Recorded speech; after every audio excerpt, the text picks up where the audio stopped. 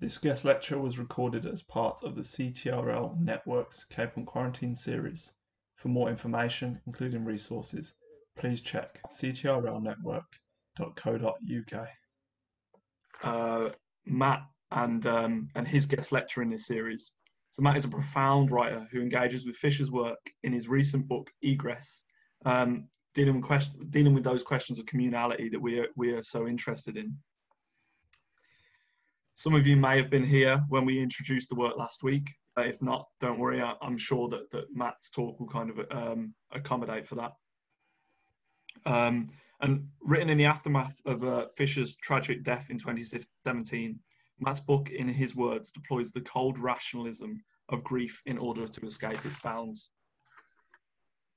This is also a cold rationalism, rationalism that finds its deployment on much of his blog, uh, Xenogothic, which many of you may be familiar with. Um, this is where Matt kind of follows a personal impulse into the theoretical. Um, and on his blog, uh, Matt frequently puts theory into dialogue with the popular culture that surrounds him.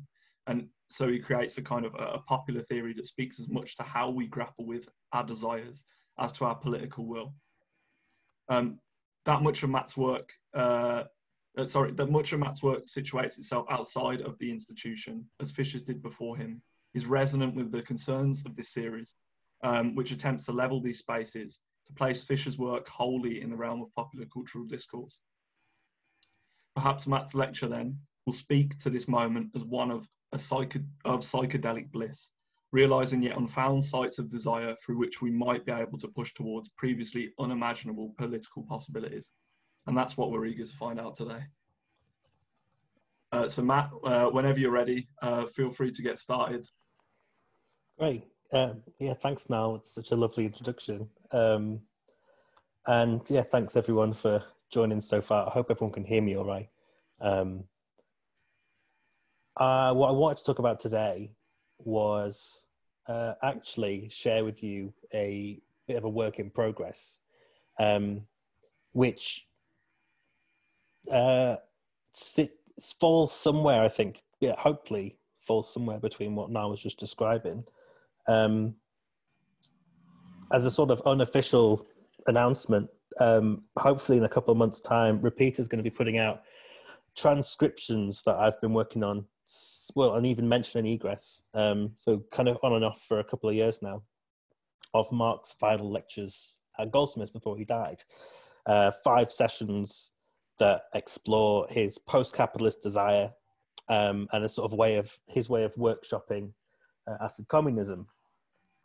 Um, and so what I've been trying to do is not only transcribe these lectures, but also write a bit of an introduction to them. Um, because this is Mark, it's Mark in his moment, in, in his, in his, well, in a, I was going to say in his prime, but not, it's Mark in a very specific context that a lot of people might not be so familiar with, but which was also, I think, part of what made him such an interesting writer and speaker, which is as a teacher, uh, his, his place in the classroom. But um, I think as Mar- as as uh, as Niall was saying, it's it's quite the way that Fisher sort of fell between different uh, ways of working in different sort of zones of thought and ways of presenting that thought. Um, it's intriguing that in these sessions, Mark's talking to his students in a way that you can imagine he was talking to his students when he was writing Capitalist Realism. Um, as if to say that this acid communism was perhaps going to be an update on that book that was similarly addressed, maybe to that same generation almost. If uh, if acid communism was sort of addressed to sort of a further education college kids that were sort of 18 years old in 2008, uh, in a way that it's uh, that, that, what's happened since then, acid communism kind of addresses that too. Um, so I'm going to uh, read um, something I've been working on that ties together what Mark was teaching at the end of his life to um, basically, well, at the at the great the the the, the general um, uh, reach of his work. Um, so I'll recap my abstract and I'll jump into it. So in the months before his death in late 2016, Mark Fisher had returned to that most fundamental political question in the 21st century, do we really want what we say we want? Beginning a new postgraduate module at Goldsmiths University of London entitled Post Capitalist Desire, Fisher explored the convoluted relationship between desire and capitalism, all the while wondering what new forms of desire we might still be able to excavate from this relation, whether from the past, our present, or the not so distant future. From the emergence and failure of the counterculture in the 1970s to the continued development of his left accelerationist line of thinking, this train of thought was tragically interrupted. Nevertheless, this course was an attempt to think through and enact one of Fisher's more implicit overarching concerns, the raising of a new kind of consciousness. He, was also he also considered the cultural and political implications of doing so. For Fisher, this process of consciousness raising was always fundamentally psychedelic, just not in the way that we might think. This lecture will attempt to excavate this trajectory not only as it was first articulated not only as it was articulated in the final months of Fisher's life, but also from within the depths of his written output, stretching from the early days of the K-punk blog to his final book, The Weird and the Eerie, and a few posthumous writings that have followed. In the introduction to his unfinished book, Acid Communism, the late Mark Fisher, famous for his love of post-punk, jungle, and a range of contemporary pop experimentalists, surprised friends and fans alike by writing positively about the counterculture of the 1960s and the 1970s. Fisher had previously been scathing about the legacy of the counterculture. He had once declared on his K-punk blog, for instance, that hippie was fundamentally a middle-class male phenomenon, defined by a hedonic infantilism. The hippies' enduring, uh, the, the hippies' uh, characteristic sloppiness ill-fitting clothes, unkempt appearance, and fuzzed-out psychedelic drug, fascist drug talk displayed a disdain for sensuality, he wrote. For Mark Fisher, there was no greater crime. The hippies were guilty of passively and mindlessly giving into a depoliticized pleasure principle, with the price of such happiness, a state of cawed out, cheery pod people affectlessness, being the sacrifice of all autonomy. As far as Fisher was concerned, to self induce a stoned stupor, chemically or otherwise, was to do capitalism's work for it, as if driven by a Freudian repetition compulsion to artificially implement capitalism's cognitive capture from within, demonstrating what he called the human organism's marked tendency to seek out and identify itself with parasites that, de- debilitate but never quite destroy it. On his K-punk blog most explicitly, Fisher offered another path, a philosophically and politically active path. This path didn't require the superficial primitivism of showering less and smoking more, nor was this akin to a new age over reliance on positive but hollow affirmations. If we are to take our psychedelic dream of emancipation seriously, and if it is to have any contemporary relevance whatsoever, we have to realize that nothing can be achieved through getting off your head on drugs. This was not a moral point, however, but an acutely political one. The point was instead to get out through your head through the application of a psychedelic reason, auto affecting your brain into a state of ecstasy. Fisher furnished this alternative with the 17th century philosophy of Baruch Spinoza, where his psychedelic reason lies in wait, ready to be uncovered. Spinoza is the prince of philosophers, really the only one you need, he writes. Before Deleuze and Guattari, Freud and Lacan, it was Spinoza who held the key to exorcising that parasitic demon of modernity, the capitalist ego, from one's mind. Fisher notes that Spinoza took for granted what would later become the first principle of Marx's thought that it is more important to change the world than to interpret it, constructing a reflexive ethical project that was effectively psychoanalysis 300 years early. Fisher continues, quote, Vernacular psychology has it that emotions are irreducibly mysterious, too fuzzy and indistinct to analyze beyond a certain point. Spinoza, on the other hand, maintains that happiness is a matter of emotional engineering, a precise science which can be learned and practiced. In tune with popular wisdom, Spinoza is clear that what brings well being to one entity will poison another. The first and most overriding drive of any entity, Spinoza says, is its will to persist in its own being. When an entity starts to act against its own best interests to destroy itself, as sadly Spinoza observes humans are wont to do, it has been taken over by external forces. To be free and happy entails exercising those invaders and acting in accordance with reason. End quote. In this sense, Fisher's blogospheric rallying cry was to argue that we already possess everything that we need to escape the confines of capitalist realism, that ideological scaffolding that keeps us compliant and unimaginative, the external invader constricting mind, body, and being today. Drugs like acid and ecstasy may loosen up the mind to a certain degree, but they neglect the other more existential parts of human subjectivity, leaving them to rot and atrophy. In this sense, the problem with drugs, Fisher argues, is that they are like an escape kit without an instruction manual. Taking MDMA, he writes, is like improving Microsoft Windows. No matter how much tinkering dollar Bill Gates does, MS Windows will always be shit because it is built on top of the rickety structure of DOS. The drugs, then, are all too temporary. Using ecstasy, he writes, will always fuck up in the end because human OS has not been taken out and dismantled as fun as they may be in the grand scheme of things, as fun as they may be in the grand scheme of things, and as this old song goes, the drugs don't work, they just make things worse.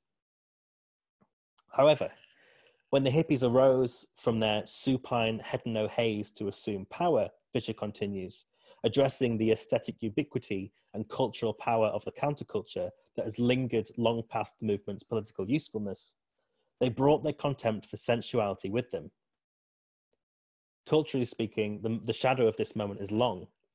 With the new sensuality of post punk eventually defeated, Fisher connects the, virul- the virulence of this anti sensual sensibility to the cultural yuppies of the 1990s, epitomized by the young British artists, alongside the adjacent rise to power of the laddishness of Britpop. It's hard to deny the prevalence of the counterculture's negative trajectory when framed in this way although at first it seems like there's little more than a similar taste in circular sunglasses to connect the Beatles' John Lennon to the Oasis's Liam Gallagher, for instance. The counterculture's cul-de-sac of passivity, or as Fisher puts it, its hey man, it's all about the mind sensibility, was as much the driving force behind the bleary, blurry, beery, leery, larry vibe of Britpop hedonism as it was for the acid tests of the Bohemian unwashed. This is apparent as soon as you cast an eye over the acid mundanity captured in two songs, like the Beatles' Lucy in the Sky with Diamonds from 1967 to Oasis's Champagne Supernova from 1995. 30 years apart from two politically distinct worlds, the bond of a psychedelic melancholy nonetheless binds them together. The same hauntological quality can be seen in John Lennon and Yoko Ono's 1969 performative sit-in Bed-Ins for Peace, the rotten husk of which re-emerged with the mortuary-esque white cube within the re-emerged from within the mortuary-esque white cube of the Tate Gallery in the form of Tracey Emin's 1998 work My Bed. This superficial regurgitation of 60s of 60s tastes under 90s capitalism resembles a fin de siècle decadence of the previous century, a nightmarish and fumbling autopsy of a long dead dream, albeit devoid of any modernist self awareness. Britpop, in this sense, was truly an atrocity exhibition, curating a fashion show procession of neoliberal spectres still to come. It's fair to say that nothing from this period of Fisher's blogging days, a particularly productive August in 2004, constitutes putting it lightly. His critiques are barbed and often wholly negative. So, how did this Mark Fisher transform into the Fisher of acid communism? Despite this unflattering appraisal from the mid 2000s, it seemed that Fisher later softened his opinion on the counterculture as a whole. And yet, despite appearances, this transformation was not so extreme. Fisher instead took it upon himself to move beyond his barbed critiques and towards the construction of a positive political project, a project that still had this Spinozist psychedelic reason at its heart. It seems that in the process of constructing such a project, Fisher had begun to newly appreciate the, politi- the, the political potentials of the counterculture's best cultural and aesthetic offerings, at least in their original socio political context. These potentials were not to be found in the surrealist abstractions of a bourgeois Pink Floyd concert, repurposed nostalgically and apolitically for today.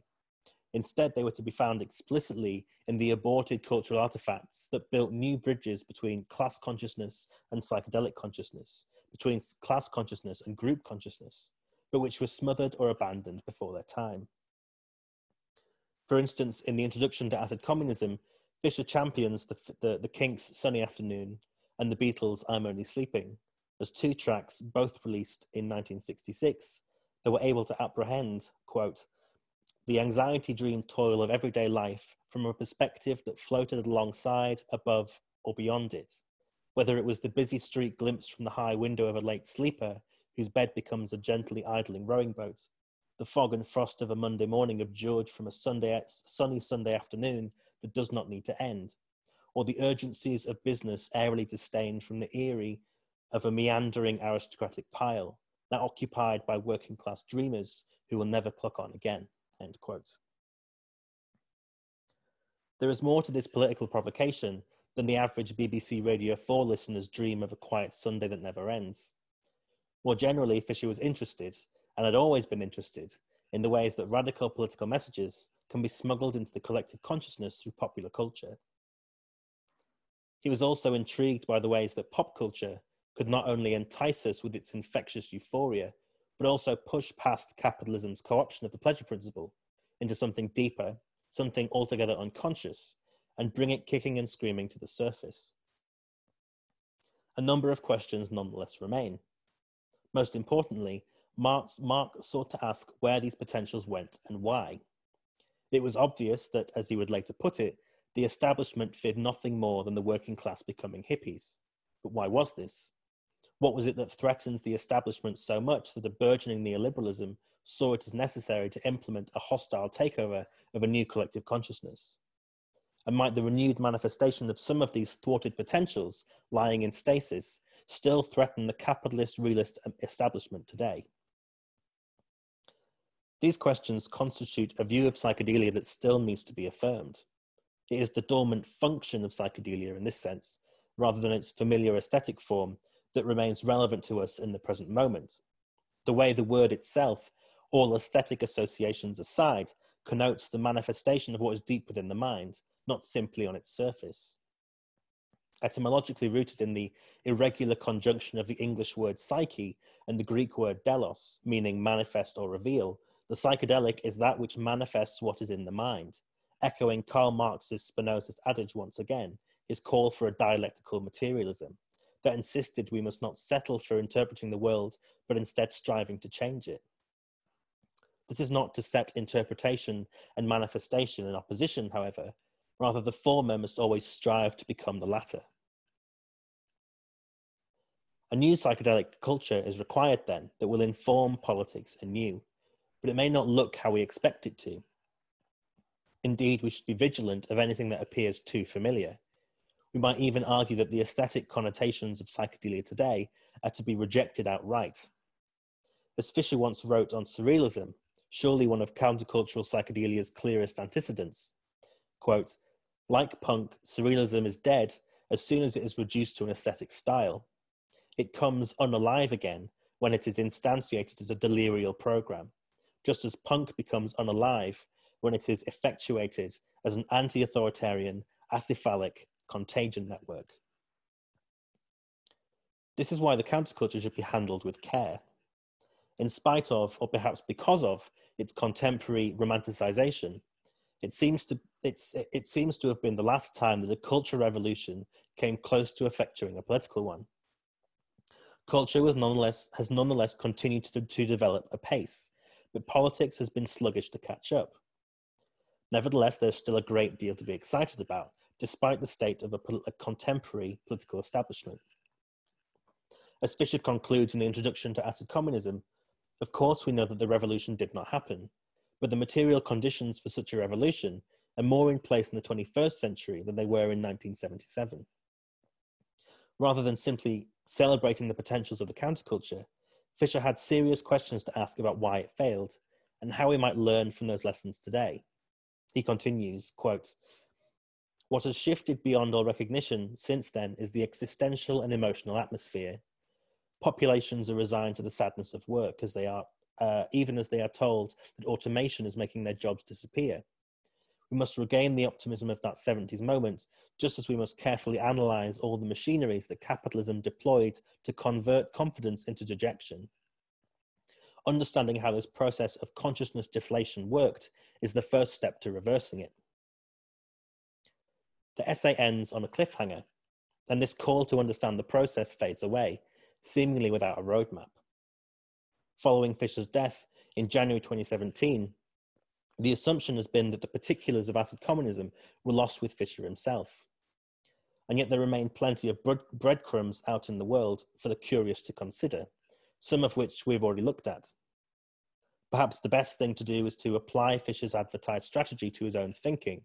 That is, understanding how this, the project of acid communism emerged is the first step to reconstructing it.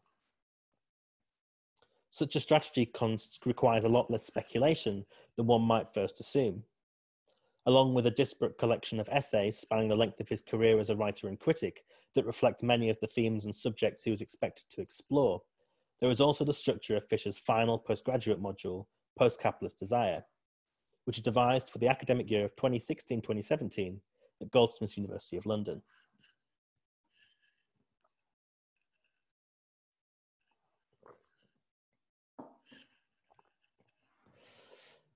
The dawn of the academic year 2016 2017 brought about a number of changes to the visual cultures department at Goldsmiths.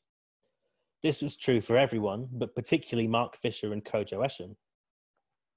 Prior to that year, the pair had co convened a, a postgraduate Master of Arts degree in Aural and Visual Cultures, a course which, in short, asked the question how do we think about the relation of sound and image in the era of ubiquitous media?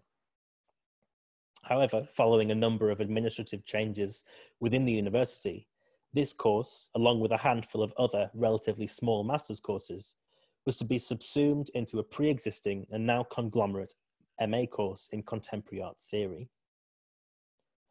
These changes could have been taken as a loss for Fisher and Eshun, but they instead took the opportunity to try something new, leaving behind the focus of aural and visual cultures to develop two separate modules that reflected their present interests while Eshun devised the Geopoetic Seminar, a 15 week, very close reading of Reza Negarestani's notoriously difficult 2008 work of theory fiction, Cyclonopedia, Fisher began Post Capitalist Desire, a seminar in which he would explore the nefarious and entangled relationship between desire and capitalism, and the extent to which the former can both help and restrict us in our attempts to escape from the latter.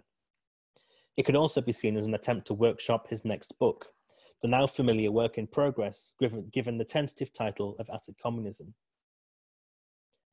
The course took its name from an essay Fisher had previously published in 2012, exploring the relation of desire to politics in a post Fordist context.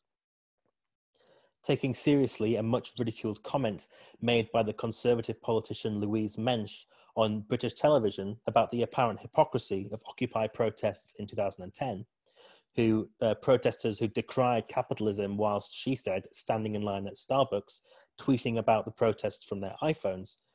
Fisher argued that Mensch's argument nevertheless warrants a serious response. This was to say that whilst Mensch's cynicism was superficial, um, are the implications of her critique not still deeply troubling?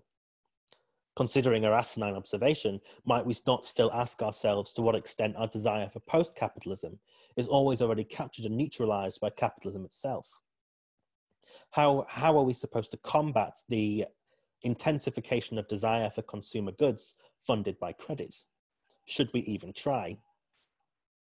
For Fisher, the response cannot be, as Mensch suggests, a reactionary striving for a pre capitalist primitivism the libidinal attractions of consumer capitalism, he suggests, need to be met with a counter libido, not simply an anti libidinal dampening. Fisher goes on to demonstrate this need for a counter libido through a close engagement with the anti anti Marxist writings of his controversial former lecturer Nick Land. In particular, Land's essay Machinic Desire, here, Land argues in his quintessential 90s cyberpunk mode for a kind of becoming replicant, are becoming immanent with the forces of capitalism. For land, it is no longer possible, quote, uh, it is no longer plausible, sorry, that the relation between capital and desire is either external or supported by immanent contradiction, even if a few comical ascetics continue to assert that libidinal involvement with the commodity can be transcended by critical reason. Which I always find that quote quite striking that despite Land's utter dismissal of what Fisher goes on to write about, Fisher nonetheless takes him to task in asserting that critical reason again in relation to desire.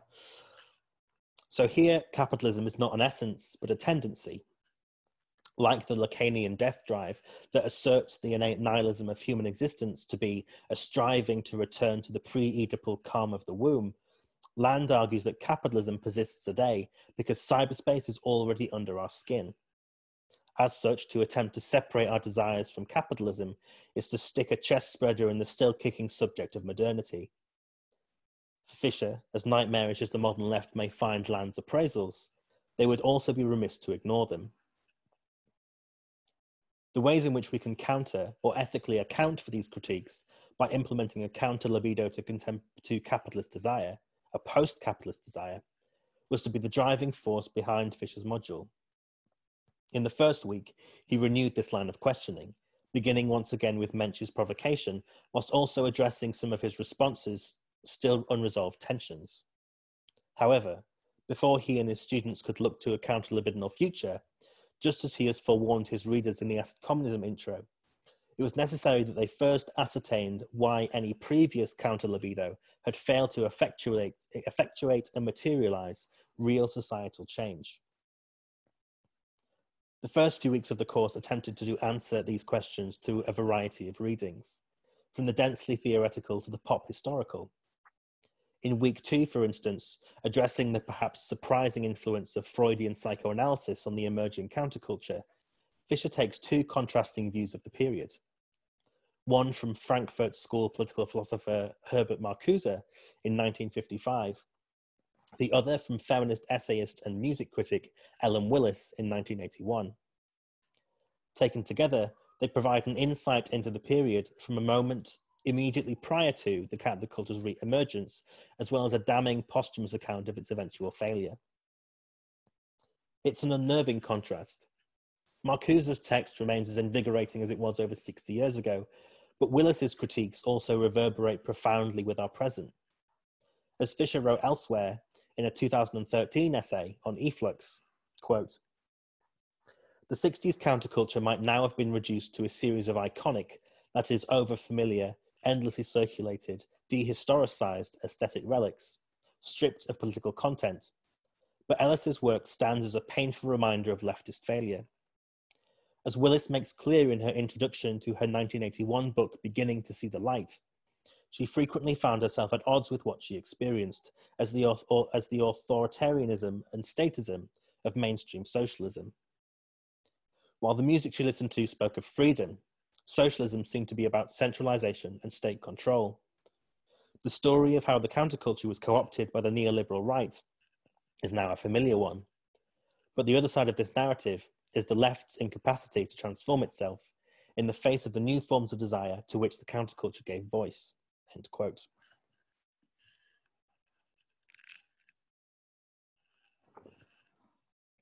This critique can be found in other examples of Fisher's writing from around this time as well. 2013 was also the year that he published his now infamous essay, Exiting the Vampire Castle. Considering these two essays side by side, it is clear that what Willis had described from the dark side of the 1970s, Fisher saw continuing to undermine the hopes and dreams of the 21st century left.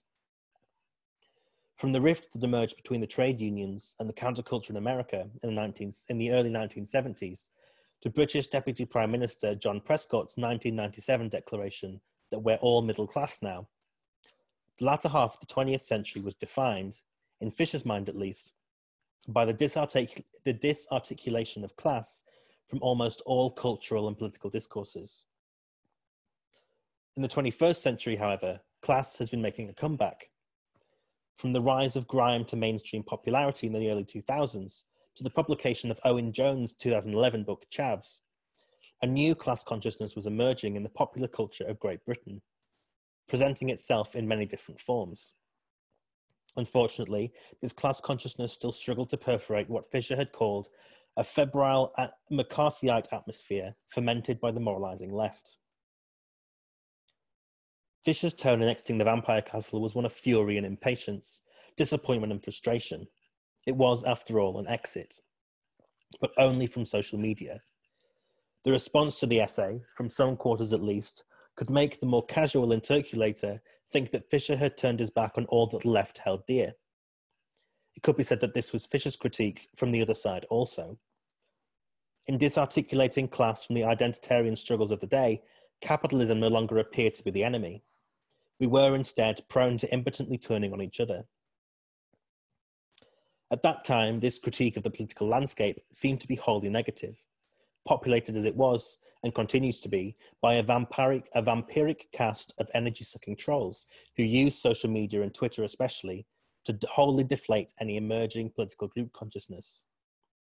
Echoing the various descriptions of grey vampires that had peppered his K-Punk blog, comment box marauders who don't feed on energy directly, they feed on obstructing projects. Fisher deployed, deplored the complacent identitarian milieu of social media that seemed determined to undermine the most exciting pop cultural shift in decades. Nevertheless, many rejected Fisher's appraisal outright, but it was later vindicated in the years of the Brexit referendum and Jeremy Corbyn's leader, leadership of the Labour Party, with the latter in particular constituting a potential reformation of left wing politics in Britain that was as consistently and undermined from within as it was from without.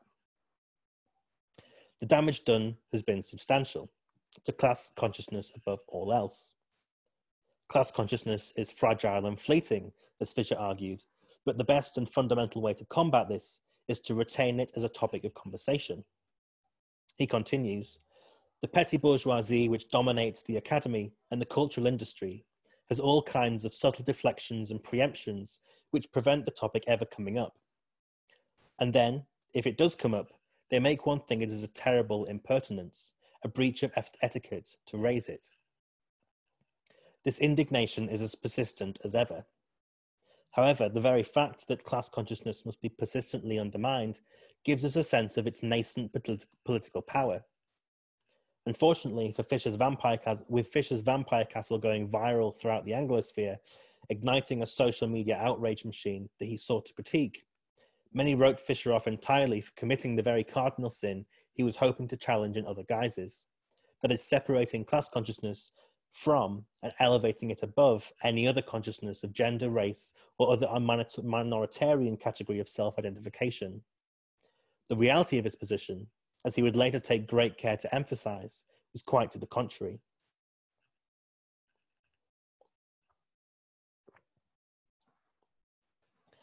Fisher later refined the argument he made so polemically in Exiting the Vampire Castle by transforming his negative critique into a positive project of consciousness raising. It was this same project that Fisher turned to in the third week of his post capitalist desire seminar. Becoming popular during the second wave feminism movement of the 1960s and 70s, consciousness raising was the name given to a practice of collective discussion that highlighted the inequalities under which people collectively live. This was, this was a necessary process because, as Fisher argued in his post capitalist desire module, consciousness of one's material existence is, despite itself, not immediately self evident. It has to be given. Uh, sorry. Uh, instead of instead consciousness of one's own place within a, a, structure of inequality be that capitalism patriarchy or white supremacy must be constructed it is never given the best way to construct such a consciousness is always with the participation of others who share a similar material existence.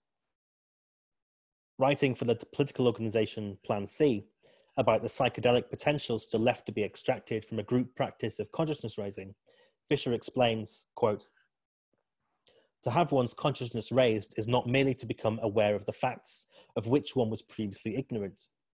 It is instead to have one's whole relationship with the world shifted the consciousness in question is not a consciousness of an already existing state of affairs. Rather, consciousness raising is productive. It creates a new subject, a we that is both the agent of struggle and what is struggled for. At the same time, consciousness raising intervenes in the object, the world itself, which is now no longer apprehended as some static opacity, the nature of which is already decided, but as something that can be transformed. This transformation requires knowledge. It will not come about through spontaneity, voluntarism, the experiencing of ruptural events, or by virtue of marginality alone. In the present, end quote, by the way, in the present, whilst there are agents of struggle everywhere, what is struggled for is disparate and unclear. It even seems to be the case that certain modes of political consciousness, seized by capitalism itself, have been used precisely to fragment solidarity rather than create it. As individuals squabble over who has the most privilege on Twitter, for instance, turning on each other, the true enemy, capitalism itself, is left completely off the hook. It was Fisher's hope that these newly raised, raised and yet fragmented forms of consciousness, proliferating under so-called identity politics, could still find common ground that included a particularly uh, a previously disarticulated class consciousness. This was necessary so that the left could produce what he had once called, in his 2009 book Capitalist Realism, the required subject, a collective subject. Over the next decade, Fisher would further develop this concept of a collective subject, coming to ref- prefer the term group consciousness. Returning to his essay for Plan C, it, is, it was here that Fisher most successfully elaborated on the need to extend the idea of consciousness beyond the individual. He writes, quote, since consciousness raising has been used by all kinds of subjugated groups, it would perhaps be better to talk of subjugated co- group consciousness rather than just class consciousness. Subjugated group consciousness is first of all a consciousness of the, of the cultural, political, existential machineries that produce subjugation, the machineries which normalize the dominant group and create a sense of inferiority in the subjugated. But secondly, it is also a consciousness of the potency of the subjugated group, a potency that depends upon this very raised state of consciousness. End quote. Unfortunately, in the years that followed the bruising reception of his Exiting the Vampire Castle essay, this subjugated group consciousness kept deflating. The Corbyn era of the Labour Party at first seemed to promise a revival, but the debacle of Brexit pricked any hope of this emerging consciousness coming to dominate. Whilst Fisher did not live to see the new lows that Brexit would drag his, this consciousness into, he nonetheless continued to highlight the incursions wrought upon it prior to that moment, in the hope that, just as Owen Jones had done in 2011, shining a light on the right example at the right time might just wake, wake the nation from its stupor. In 2014, for instance, Fisher turned to the controversial documentary series Benefit Street, which followed the lives of the residents of James Turner Street in Birmingham, a street that was supposedly home to more social welfare dependent households than anywhere else in Britain. Writing for New Humanist magazine, Fisher argued that the programme, by its very nature, implied a default bourgeois gaze, which judges working class participants as, as lacking by comparison to them with the middle class. Moreover, Fisher continues, this lack is understood in heavily moralized terms It isn't to be explained by the working class's lack of resources or opportunities, but by a, def- a deficit will in a deficit in will and efforts. In this sense, Benefit Street was a program that portrayed an even more pernicious mutation within the ever-evolving nature of capitalist realism. Not only was capitalism deemed to, by the realists to be the only game in town, the gaze of its central phantasmatic subject, the evergreen middle class, was now taken to be the default subject position available as well. Whereas Fisher may have rejected the 90s announcement that we are all middle class now, our television screens announced this reality silently and without fanfare. The message, though implicit, was familiar. There is no alternative. As a side note, I don't know if anyone's been watching the new series of Queer Eye, um, but that's I think that's another program that shows a, a new mutation of that same point. Um, that this the the the the, the five the five gays of, of queer eye don't moralize to the same extent that uh, something like benefit street does but nevertheless have like a they they they try to uh, uh, in, uh, export onto their um, the people that they're helping a default bourgeois gaze. So the enforcement of a, the middle class as a default subjective position would be the topic covered by Fisher in his final post-capitalist desire lecture before the Christmas break. Here, the fact the middle the, the fact that the working class might possibly find enjoyment in their own oppression becomes a challenge as darkly humorous as it is viscerally disenchanting. Here again, the challenges put forth by Fisher's former lecturer Nick Land echo ominously. Reading aloud from Jean-Francois Lyotard's viciously difficult 1974 book, Libidinal Economy, Fisher relishes the work's most polemic passages. As Lyotard seems to prophesy the patronizing gaze cast upon James Turner Street, putting the producers on blast, who dare not say the only important thing there is to say, that one can enjoy swallowing the shit of capital, its materials, its metal bars, its polystyrene, its books, its sausage pates, swallowing tons of it till you burst. As far as Lyotard is concerned, the English unemployed did not become workers to survive. They hang on tight and spit on me, enjoyed the hysterical, masochistic, whatever exhaustion it was of hanging on in the mines, in the foundries, in the factories, in hell. They enjoyed it, enjoyed the mad destruction of their organic body, which was indeed imposed upon them. They enjoyed the decomposition of their personal identity, the identity that the peasant tradition had constructed for them enjoyed the dissolution of their families and, visit- and villages, and enjoyed the new monstrous anonymity of the suburbs and the pubs in the morning and evening. Fisher had long taken Lyotard's charge, his dark, his stark description of a crisis of negation and political negativity, in all of its dark humor, deeply seriously. In his 2010 essay, Terminator versus Avatar, for instance, Fisher updates Lyotard's provocation for the 21st century he writes, "Hands up, who wants to give up? Hands up, who wants to give up their anonymous suburbs and pubs and return to the organic mud of the peasantry? Hands up, that is to say, all those who really want to return to pre-capitalist territorialities, families, and villages. Hands up, furthermore, those who really believe that these desires for a restored organic wholeness are extrinsic to late capitalist culture, rather than fully incorporated components of the capitalist libidinal infrastructure. The working class of, the 21st century are as entangled in their subordinated desire slash sub- desire for subordination as they are as they were in the 20th. But this paradox, this feedback loop, is not without its uses. As Fisher continues, not far beneath Lyotard's desire drunk yes lies the no of hatred, anger, and frustration. No satisfaction, no fun, no future. These are the resources of negativity that I believe the left must make contact with again. The left at large may not be ready for this at present, and Fisher himself may have softened in his lust for negativity. But just as the developing counterculture repeatedly foreshadowed the political sea changes of the era, Lyotard's provocations find themselves encapsulated in much contemporary music and culture. Indeed, what is a counterculture, if not a cultural hegemony recast in negative?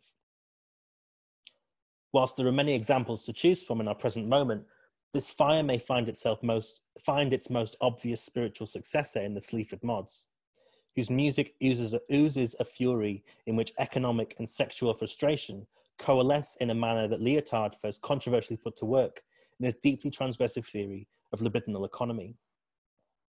On their 2008 track Job Seeker, for instance, vocalist Jason Williamson hangs on tight and spits on you through the speakers, rehearsing a kind of spiteful inner monologue. What he wishes he could say to the superficially sympathetic bureaucrats at the job centre. So, Mr. Williamson, what have you done to find gainful employment since your last signing on date? Fuck all. I've been sat around the house wanking. I don't know why you don't serve coffee here. My signing on time is supposed to be 10 past 11. It's now 12 o'clock. And some of you smelly bastards need executing. Mr. Williamson, your employment history looks quite impressive. I'm looking at three managerial positions you previously held with quite rep- reputable companies. Isn't this something you'd like to get back to? Nah, I just end up robbing the fucking place. You've got a till full of 20 staring at you all day. I'm hardly not going to bank it. Job seeker, the job seeker, rejects the moralized figure of the downtrodden and out of luck. It is the inverse of a figure like Daniel Blake, as seen in Ken Loach's critically acclaimed 2016 film, I, Daniel Blake. Rather than raising consciousness through sympathy, depicting through a fiction the abject reality of the British welfare state, Williamson instead raises consciousness through bloody mindedness, bottling the shame of class subordination and weaponizing it. This is not to say that Sleaford Mods' re- rejection of a Ken Loach image is a negation of that form of political consciousness. It simply offers another image of proletarian subjectivity, ejected from the system and loving it. Job seeker then reinvigorates Lyotard's desire drunk yes, affirming the fact that this uneasy subjugation is what makes the working class a threat to the system itself. Fuck your middle class propriety. I've got desires to pursue. Fisher's psychedelic reason still has a role to play here. The implication is that the stay in bed, float upstream, anti work ethic of the Beatles in the 1960s is more within reach for the working class now than ever before. What was good enough for John and Yoko is certainly good enough for Williamson and his collaborator, Andrew Fearn. Isn't it better that it takes place in a flat in Grantham than a private suite at the Hilton Hotel? reflecting on the present accessibility of this potent affectivity in a review of two Sleaford Mods releases for the Wire magazine in 2014, Fisher writes that the sort of discontent Williamson gives voice to is everywhere in the UK now, but for the most part it's privatised, blunted by alcohol and antidepressants, or directed into impotent comic box spite and empty social media outrage but it is nonetheless underscored by a class consciousness painfully aware that there is nothing which cannot transform disaffection into political action. Many questions remain. Fisher asks, who will make contact with the anger and frustration that Williamson articulates? Who can convert this bad affect into a new political project? That is, who will, who will seize this chemically blunted disaffection and let it loose on the establishment? At the time of writing, there may be no more subtle movement, suitable movement than that of the black, of Black Lives Matter. This dis- disaffection is powerful, but its primary goal is surely to be kindling to a wider movement. Could it be doomed to impotence if the fire doesn't catch on the imagination of demographics beyond that which it gives voice to? Speaking about Lyotard with the students in, 20, in late 2016, Fisher similarly admires uh, uh, similarly admires the philosopher's glorious hemmed-in quality, but wonders if Lyotard's barbed rant is a display of the glorious kind of autonomy and sufficiency of the text itself, or its impotence, impotence or uselessness. This is not a question for the Black Lives Matter movement, but is a, it is a question that continues to haunt our wider countercultures at large today. And if that haunts culture, it inevitably haunts politics. Unless the strengths of the latter emerge from the former, we may find ourselves stuck in the same feedback loop that we have long languished in. Fisher's post-capitalist desire module, much like the introduction to, to his acid communism, presents this as an attempt to root around this capture. It asks, what is required of us if we truly want to accelerate beyond the pleasure principle, to push beyond capitalism? No, I've mixed up there. It asks, what is required of us if we, if we truly want to push beyond capitalism? The suggestion that emerges from Lyotard in week five is that we must accelerate beyond the pleasure principle, beyond our culture of retrospection and pastiche, beyond the persistent disarticulation of group consciousness, beyond capitalist realism. In this sense, Fisher is attempting to describe to his students from the ground up a new praxis for a left accelerationism that manages to finally escape the tandem impotence of dialectical materialism, of negation and affirmation. Accelerationism is mentioned frequently throughout the seminar, even in the rest of Fisher's works. But Fisher, and Fisher makes clear he, uh, Fisher even goes so far as to say that the, the, that the discourse surrounding accelerationism was the biggest influence on his course at the time. And we might extend that to say it was the biggest influence for acid communism. However, from the vantage point of 2020, its frequent appearances in Fisher's thought warrant some further context.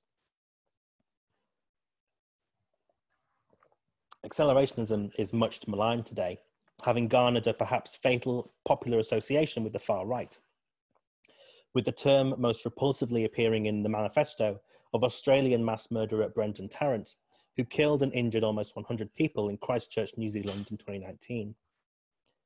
The popular understanding of this philosophy's aims today is that capitalism, or the status quo more generally, is some barely functioning, unsustainable mess of contradictions. Therefore, we should accelerate the mechanisms of capitalism, or the status quo, towards their inevitable dream, uh, inevitable doom. I think that's a point worth making that the right, the far right version of accelerationism disarticulates capitalism completely from its aims. It focuses on the status quo, whatever that is, um, in particular. This position is even more loosely but frequently translated as things have to get worse before they can get better. And yet, as the philosopher Pete Wolfendale noted in 2015, responding to a review of Urbanomic's publication Accelerates the Accelerationist Reader, this is not a, this is not a position that anyone has ever held. Accelerationism, a slick dismissal coined by Benjamin Noys in his 2010 critique of post May 68 continental philosophy, The Persistence of the Negative, was later seized upon by Mark Fisher and paradoxically affirmed. Noys' book was by and large a critique of how continental philosophy was obsessed with affirming the negative. Fisher, in deftly trollish fashion, then affirmed Noys' negative critique. In hindsight, this may have been a mistake on Fisher's part, but for better or for worse, the name stuck. Fisher did this arguably to demonstrate that Noys' position as being somehow above this, this entanglement of negations and affirmations was a fallacy in late capitalist society, we affirm negations and negate affirmations every day. This cycle is in part what Fisher saw as leading to the hauntological stuckness of the 21st century. Accelerationism, then, as hauntology's hyperactive cousin, was seen by Fisher and others as an analysis of the ever increasing speed of technological progression under capitalism and how this was affecting human cultural production these issues are still uh, pertinent today. Uh, I've lost my way.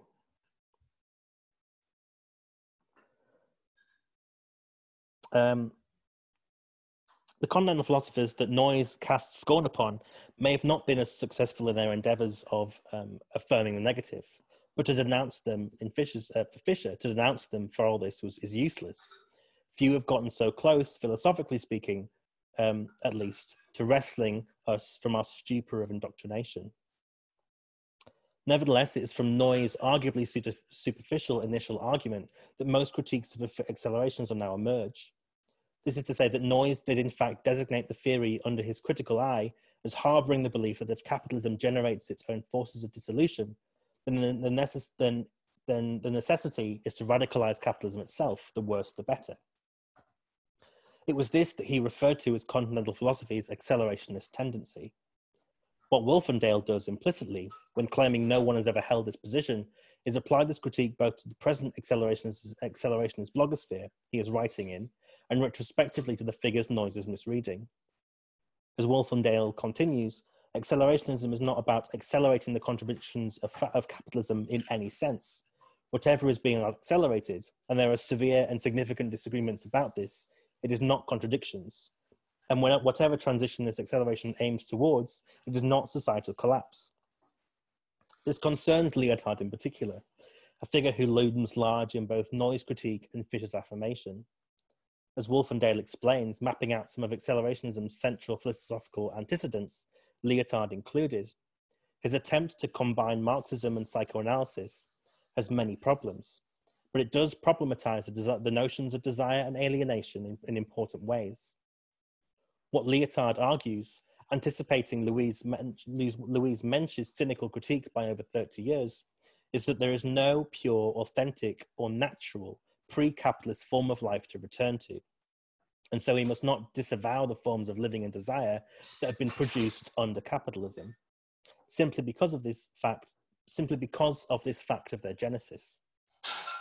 However, where we go from here remains a lively field of for debate. What the nature, what the, what the nature of a post-capitalist desire uh, will be remains to be seen. Wolfendale writes that our speculation on this matter can descend into a perverse celebration of capitalism's destructive and oppressive tendencies. I'm looking at you, Lyotard, or it can equally become a call for greater self consciousness regarding how we construct our desires and ourselves. Here's looking at you, Foucault. an honest appraisal that refuses to be trapped within the nostalgic false consciousness that seeps unbidden into so much political, so much leftist discourse. Here, Fisher's psychedelic reason once again rears its head, and accelerationism, as an admittedly broad church, contends precisely with the ways that a reason under siege from the, irreality, the irreality of capitalist modernity can still give rise, as Spinoza declared, to actually existing human freedom. Unfortunately, the promise of this line of thought further developed, uh, this thought's further development was tragically interrupted. Following the Christmas break of 2016, Fisher's seminar did not resume. As a result, his final lecture on Lyotard is bittersweet. Little seems resolved, but following our engagement with these five sessions alone, we may nonetheless find ourselves in possession of a new knowledge regarding the circumstances in which we live, and in many ways have always lived. Since Fisher's death, the same sentiment has been expressed online over and over again. I wish Mark Fisher was here to inform, to provide insight, to give us hope, to give us a laugh. But in each instance, it is clear that the questions Fisher asked of Lyotard and the Sleaford mods remain pertinent to his own project in the aftermath of his death. Who will make contact with the anger and frustration he articulated? In addition, who will make contact with the joy and energy he created as well. For many students and staff who were attending Goldsmiths at the time of Fisher's death, there was an intense desire to take up its, discordance immediately, as many borrowed Fisher's own words to reject the sudden horror that had descended upon the university campus that first Monday morning, two days after his death. Each of the five post capitalist desire seminars had taken place on a Monday morning. The sixth session of Fisher's module never took place, but after the news of his death spread throughout the university, uh, many students, um, many students, I lost my way. Many students chose to attend, uh, chose to attend it anyway. A class of 20 doubled, perhaps trebled in size, as faces familiar, un- unfamiliar, from both undergraduate and postgraduate degrees, gathered together on, a, on an objectively miserable Monday morning waiting for Fisher himself to walk through the door and reveal his hoax. After some time spent in silence, an impromptu listening session began instead.